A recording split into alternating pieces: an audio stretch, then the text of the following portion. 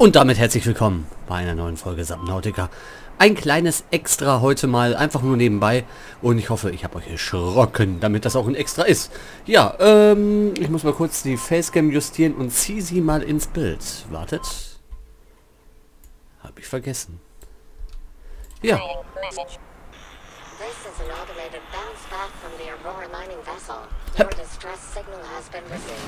an emergency relief team will be dispatched to your location. The estimated arrival time is 9, 9, 9, 9, 9 hours.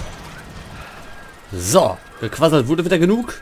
Wir ähm, wollen in die Tiefen der Meere. Ja, wir wollen bis zu 1600 Meter tief tauchen. Das kann ich eigentlich nur im Experimental-Modus momentan. Und ähm, ja, das werden wir einfach mal tun. Welcome aboard, Captain. Aber dafür, ähm, ich möchte unbedingt den Sonar haben, brauchen wir noch ein bisschen Sachen. Ich habe den Kreativmodus gestartet, weil wir hier natürlich, wie gesagt, ähm, drauf scheißen können. Ne? Dass die Motte, die stirbt nicht, die geht nicht kaputt, alles, alles gut. Und ähm, ja, damit können wir dann einfach mal easy locker tauchen.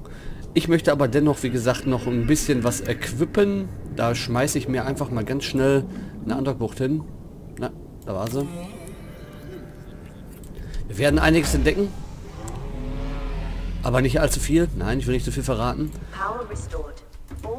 Und werden dort ähm, ja, zukünftige Biome besuchen. Ne? Also so ein bisschen Spoiler ist es schon, definitiv. Achso, brauche ich doch gar nicht. Wartet. So. Uh. Puls. Cannon for Exosuit. Ich werd verrückt. Die ist neu. Exosuit Bohrarm. Aber wir können den Exosuit noch nicht machen. Exosuit Jump Upgrade. Exosuit Thermalreaktor. Exosuit Grappling Arm Modul. Ich kann den Exosuit nicht bauen. Leider. Habt ihr ja gerade gesehen. Torpedosystem, ja bla bla bla. Okay. Ähm, wir wollen haben. Wir haben eh unendliche Energie, ist egal. Äh, auf jeden Fall, wo ist es denn das Ding? Bin ich doof da? So nah. Für unsere kleine Reise. In den Tiefen. In den Tiefen. Zukünften von Subnautica, was uns da erwarten wird, wird wahrscheinlich gigantisch. Also sie sind fleißig am Bauen. Man sieht's. Ihr werdet es gleich mitbekommen. Da. Ihr werdet es gleich mitbekommen, denn wir bewegen uns jetzt. Wo ist die Insel? Da. In diese Richtung. Es wird tief. Es wird sehr, sehr tief.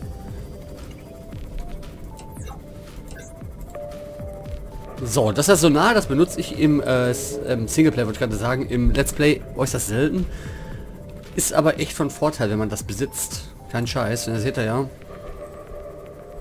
Da lässt sich erahnen, wo was ist oder welche Eingänge man finden kann, aber wahre Profis finden diesen Eingang, den ich jetzt gerade ansteuere, sowieso mit links. Da braucht man keinen Sonar. Und ihr werdet sehen, da kommt was auf uns zu. Da kommt was Gigantisches auf uns zu. Und das in unglaublichen Tiefen. Kein Schiff schafft bis jetzt diese Tiefen, muss ich zugeben. Ey, gibt schon Wracks, obwohl die Aurora nicht explodiert ist. Interessant. So. Wir fahren und fahren. Ich finde das Loch. Und dann geht es runter. Äh, Bis auf 1600 Meter. Dort werden wir mehrere Biome durchfahren, die natürlich noch nicht fertig sind. Erstaunlicherweise, ach, ich will nicht so viel verraten. Werdet ihr gleich sehen. Bumm. Und? Auf geht's. Guckt auf die Meter. 200 Meter darf die Motte. Wir sind im Kreativmodus. Das ist der Motte eigentlich ziemlich egal, wie tief sie ist. Deswegen hier auch ein Extra. Ne? Sonst hätte ich das natürlich auch im, im Let's Play gemacht, aber da keine Schnitte. 1600 Meter schaffen wir im Let's Play nicht. Außer ich bringe mich um. Und das will ich ja nicht. Na, dann kann ich dann ganz schnell dahin mit der Luft, die ich noch habe. So, ein bisschen in der Richtung. Ja, ich bin so ein kleiner Pfadfinder geworden hier. Seht ihr? Der Sonar ist echt gut. Einfach nur immer, immer tiefer. Wir sehen hier diese weißen Pflanzen, die kennen wir schon zu gut. Hier ist auch alles schon so gut wie fertig, was das Biom betrifft. Also wir sehen Ressourcen und und und. Halt, ich muss da lang. Ram. Oh, das sieht echt irre aus.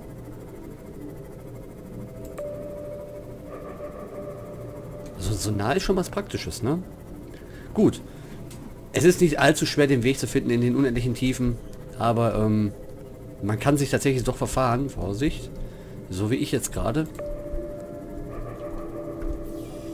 Nein, da geht's weiter. Da geht's tiefer. Und da wollen wir hin. Uh. 500 Meter haben wir gleich geschafft. Ist noch gar nichts. Wir wollen 1600 Meter schaffen und das Blitzi. Und ein Wrackteil. Hm, wirklich nur Profis wissen den Weg. Nein, Quatsch, den findet jeder. Ist super einfach. Noch ein Blitzi. Wir wollen aber eigentlich... Wir unendliche Energie haben. Ohne unendliche Energie ist das sehr schwierig hier. Blitzi interessiert sich auch gar nicht so für... Für uns doch, er interessiert sich ganz schön für uns. Wir wollen natürlich jetzt bei 600 Meter einen Eingang finden. Und zwar hier lang. Nein, da ist eine Wand. Da lang. Hier lang. Da lang, hier lang. Hier lang, da lang. Und ihr merkt, Gurkenwasser entsteht. Ja, ich bin auf dem richtigen Pfad. Hier ist was Neues. Das kennen wir noch nicht. Also ich kenne es jedenfalls noch nicht. Grüner Schleim aus diesen Unterwasservulkanen oder was immer das ist. Ruckelt hier und da mal, tut mir leid. Dann kommen hier noch Schwebepflanzen dazu, die sind auch noch ziemlich neu und mir persönlich sehr unbekannt gewesen.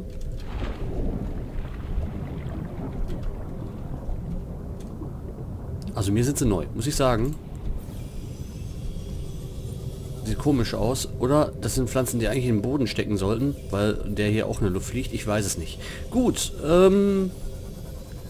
Weiter geht die Reise. Ich werfe nochmal den Sonar an. Nur für die Optik. Eigentlich weiß ich ganz genau, wo es lang geht. Und wir werden den Kern, den Kern der Erde finden. Den Kern von Subnautica. Ein bisschen spoilern ist das ja schon, muss ich zugeben. Aber wir können es ja alle spielen. Nicht nur ich, er auch. Was ist geil, das Geräusch. Also ein Echo noch dazu. Wir müssen einfach nur fahren. Da rechts von uns ist das Skelett. Das kennen wir alle schon. Das habe ich schon mal entdeckt. Ganz entsetzt. Und in den Tiefen, die wir uns jetzt befinden, können wir ja selber tauchen. Mit der Motte, mit 900 Meter. Kein Problem. Nun geht es aber weiter nach links. Da war ich auch schon mal. Da wurden mir aber leider ein, Strich durch die Richtung gezogen, weil Tiefen erreicht wurden, die wir nicht erreichen können.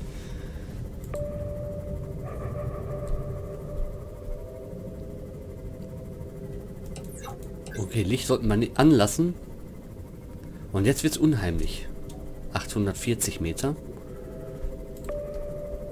Ihr seht, es geht da tatsächlich tiefer. Da sind Biome, die sind schon eigentlich ziemlich gut im Bau, muss ich zugeben.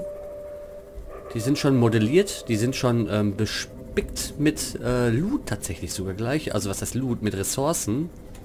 Werdet ihr gleich sehen. 900 Meter erreicht. Ja, damit ihr ein bisschen was seht, mache ich das immer hier am laufenden Band. Da ist so eine Schlucht und jetzt wird's rot. 1000 Meter sind wir gleich tief. Und die Welt von Subnautica ist noch nicht zu Ende. Noch lange ist sie nicht zu Ende. Seht ihr? Lava. Ja gut, die macht Sinn hier. Ne? Lava macht Sinn in den Tiefen. Ein Kilometer tief. Da denkt man, krass. Aber wir müssen einfach nur ein Stück zurückfahren. Da oben ist eine Höhle. Also eine Decke. Müssen wir einfach nur hier lang fahren jetzt. Und dann mache ich mal noch so nah. Da seht ihr. Das geht dann noch weiter. 1150 Meter tief. Hier finden wir momentan noch gar nichts. Kein Lebewesen. Und Überraschung. Es gibt Ressourcen. Was findet man in 1200 Meter Tiefe? Diamanten. Können wir behalten. Man findet Diamanten. Zum Beispiel. Und ich mach mal noch einen auf. Eventuell gibt es ja was Neues. Nein, ich glaube nicht. Also ich glaube, grundsätzlich hier durch den großen Druck entstehen Diamanten aus allem möglichen Scheiß. Aber wir sind noch lange nicht unten. Den Kern, den werden wir jetzt finden. Hier ist eine Spalte. Müssen wir mal ein bisschen höher wieder.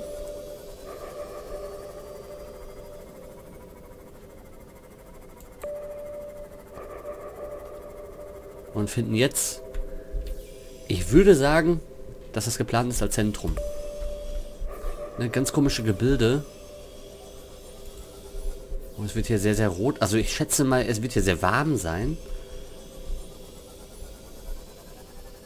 Das Zentrum von Subnautica. Gleich wird es sehen. Wer weiß, was für eine Relevanz das später für uns haben wird im Spiel als Story. Das macht mich auch ganz neugierig. Wir sind 1230 Meter tief. Und hier ist es. Das schafft der Sonar nicht mal richtig. Weil es einfach so gigantisch ist. Ihr seht's. Ich befinde mich gerade da drüber. Schwimm mal runter. Da. Hier ist so eine dicke Wulst.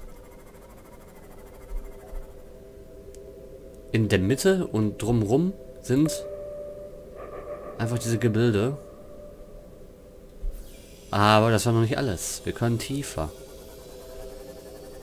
Auch das haben die Entwickler schon geplant. Ne? Wir müssen nur gucken genau in welchen Gang. Es gibt mehrere Möglichkeiten und das sieht schon so aus. Da ist er.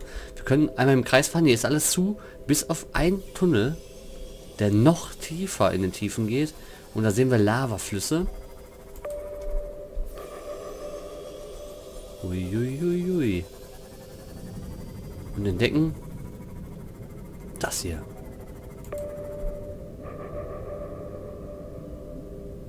Das ist 1500 Meter knapp tief. Man kann hier bis auf 1600 Meter tief kommen. Man muss nur halt das richtige Löchlein finden. Oder unendlich tief tauchen. Die Map ist ja auch irgendwo zu Ende. Und hier habe ich aufgehört zu gucken. Hier kommt keine Wand, wie man sieht. Doch, kommt.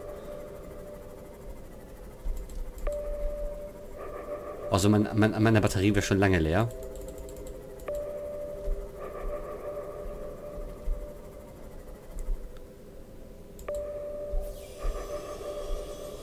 Gruselig. Jetzt habe ich 1600 Meter gesagt und äh, bin 1450 im tief, aber ich bin 1600 Meter tief gewesen vorhin. Und hier gibt es nämlich noch einen Abgrund, der sehr interessant aussieht. Und zwar ist der sandig. Was gar nicht passt.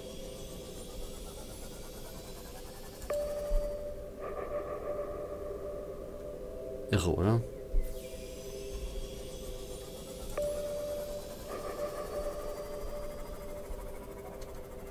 Hier habe ich ein Video gesehen von jemandem, den Sea Emperor, den, den, den großen neuen Bösewichtenfisch da gefunden. Und ähm, ich glaube, der hat den hergeschietet. Aber ich schied jetzt keinen Fisch dazu. Ja, wir sehen, wir sind umzingelt von Wände. Und das ist hier schon ziemlich irre. Ja. Und dann gibt es hier teilweise noch so Löcher. Die führen sehr tief. Also nicht allzu tief. Ah, also man dreht sich hier drin. Und findet einfach nur einen Erdboden. Das war's. Ob das irgendeine Bewandtnis hat später?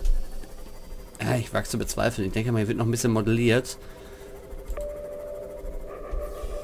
Ja, durch diesen Sonar sehen wir halt mehr als, als das normale Auge. Ja. Vielleicht gibt es ja einen Tunnel, der einfach wirklich weiterführt.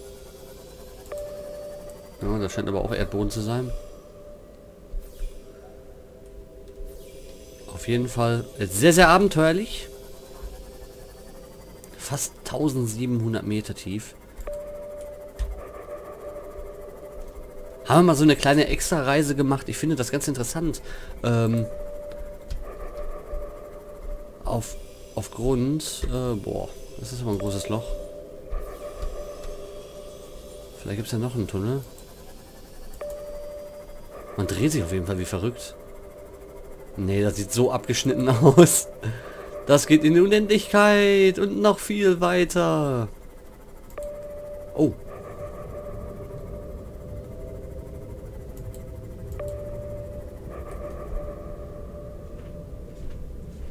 Wo zum Teufel sind wir?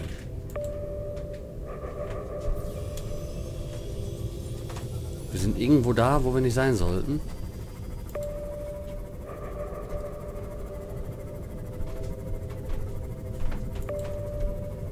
Bei fast 2000 Meter Tiefen. Na, ich glaube, das ist der Grund von Subnautica. Momentan. Ich sag danke fürs Zusehen. Wir sehen uns in der nächsten Folge. Noch ein bisschen scannen. Ne, hier ist einfach nur eine Wand. Auf Wiedersehen.